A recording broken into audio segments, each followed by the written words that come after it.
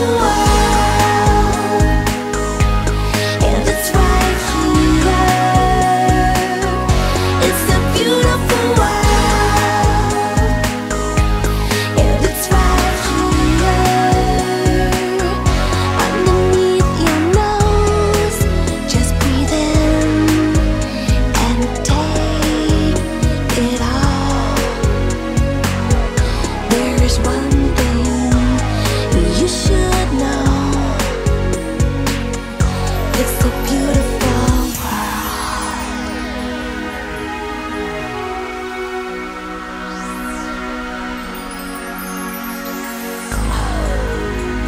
There's nobody else around.